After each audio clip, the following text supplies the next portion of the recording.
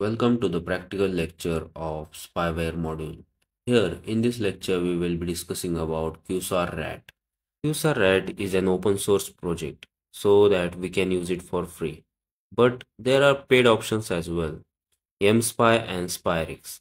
These tools comes with various functionalities. But for this lecture we will be using QSAR RAT. You can access this GitHub repository by going to the link in the presentation file. So this is the tool.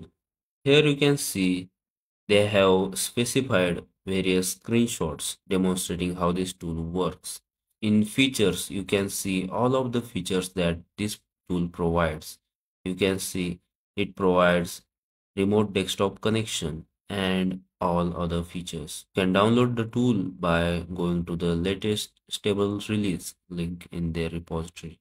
And here you can download this zip file.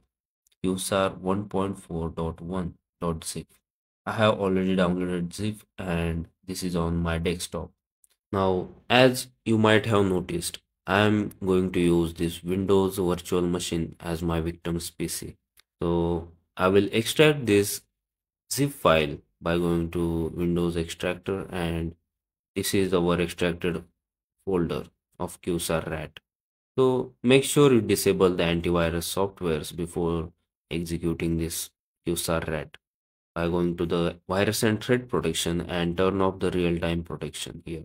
You can even add this folder into the exclusion list to avoid it from getting detected by antivirus softwares. We'll open my tool and in the QSAR directory you will see all of the required files. Now here you can see qsar.exe we have to double click this file and click on run. Also, first time if you are executing this tool, click on create and create a new client for this machine. I will click on create and it will create a profile for my machine. Now, as you can see here, it has assigned a certificate to my qsr RAT. I will click on save and it has saved the backup file. After clicking OK, you will see this RAT interface. This is our QSAR RATs interface that we will be working with. The settings, you can specify all of these options. You can specify the port here and all the other options such as show pop-up on a new connection. I will enable this. I will enable this and you can read all of the options and enable any options you want. Here I have specified a listening port and I will start the listening. You need to allow this in our firewall be able to work with this tool and click on save. In the about section, you will find all of the information about the version of this tool. Here in the home tab, you will see the victim devices when you add them in here. There are a lot of columns and our main working tab is the builder tab. Here you have to do some basic settings. In the basic settings, you can type the client tag anything you want. Make sure you type something that is undetectable to the antivirus and the user. I will keep it as it is and here you can read all of the descriptions that they have given here. In the connections tab, this is important tab. Here, what we have to do is specify the IP address to receive the connection on, which is our attacker's IP address. I will go to the CMD and type in ipconfig to find my local machine's IP address. And here you can see my IP address. I will copy this IP address, minimize this and paste it into my QSAR RAT. Make sure you are using the same port given in our QSAR RAT and also for our payload. In the installation settings, you can enable the client, install the client on the system or any location you want. You can specify all of the settings here to make your RAT more sophisticated and undetectable. You can even specify the directory where these RATs get installed and its working directory. Here you can even specify the auto start and give some name to the file when it gets executed in the system. Make sure you give some common name make it undetectable, such as updater or anything you want to. So in this case, I will just give the Java JDK or Java name. Let's just make it Java updater. You can even name it as Microsoft. So the system will think of it as it is Microsoft's file. You can even deceive the users. But for this lecture, I won't be enabling any of these options. In this section, you can specify the assembly information and the assembly name and file version as well. And you can even specify the assembly icon. These things will make the file signature to change and which is beneficial for us. The next is monitoring. Here you can specify the monitoring and keyboard logging. Now I am enabling these options because I want to keyboard logging.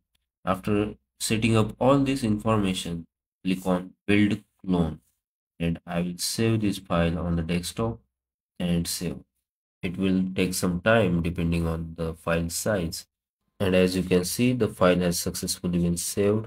I'll close this tab, click on, I don't want to save the settings. And this is the RAT we will be sending to our victim's PC, which I have installed in here. I will be using my Windows 10 virtual machine as a victim's PC. So what I will do is I will just drag and drop this file in my victim's PC and I will double click on this file and execute it. It will take some time to execute the payload in the background. Now it won't open any of the windows because we have disabled the windows opening and make it invisible.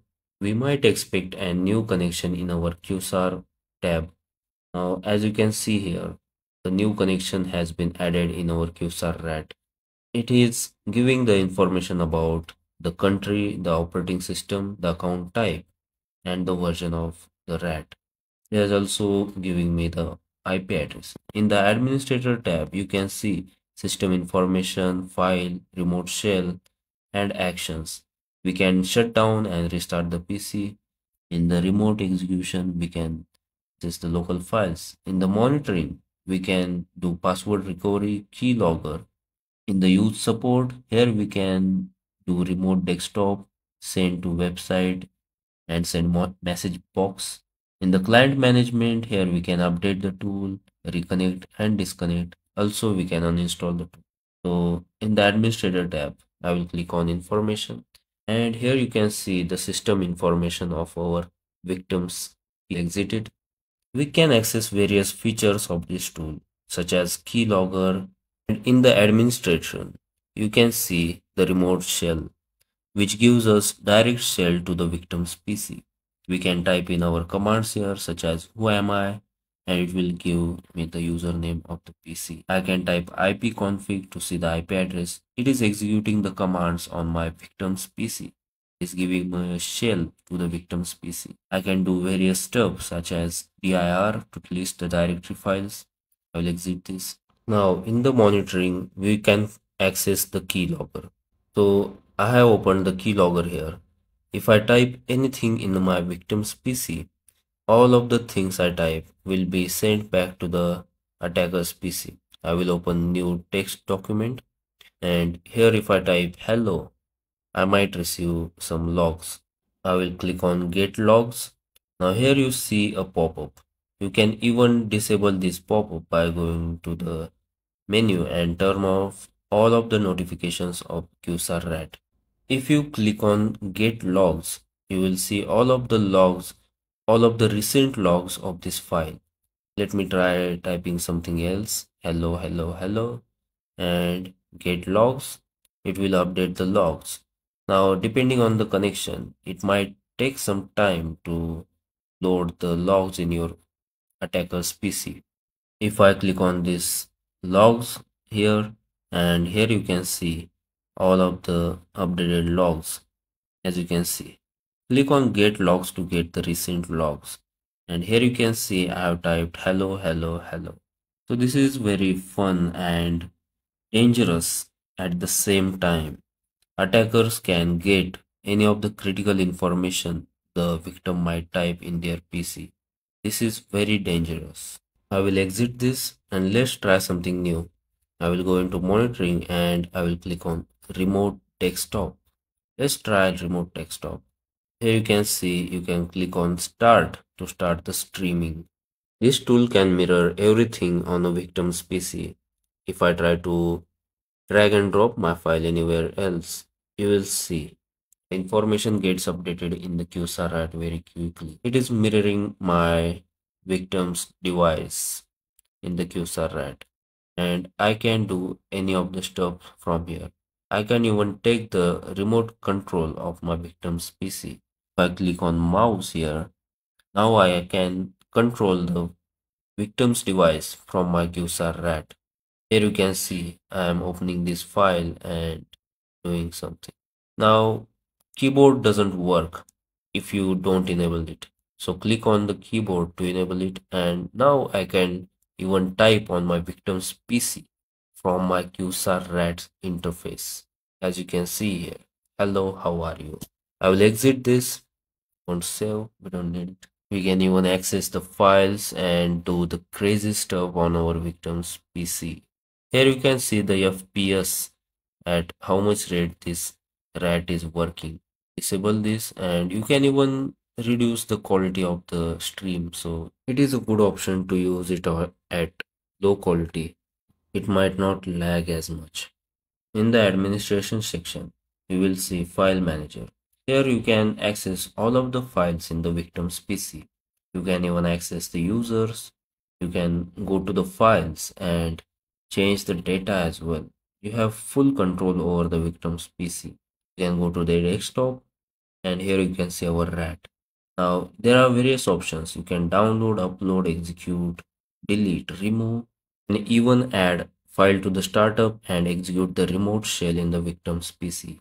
Here you can see all of the drives in the victim's PC and access anything. If I click on the file and click on download, it will download this file in my attacker's PC. To see the files it has downloaded, you can go to the transfers tab and here you can see all of the files that I have downloaded. To access these files, I will click on open in file and here you can see the files I have downloaded. I will exit this tab. You can do various features such as add the file to the startup and here you can see all of the tools which are executed in the victim's PC at the startup.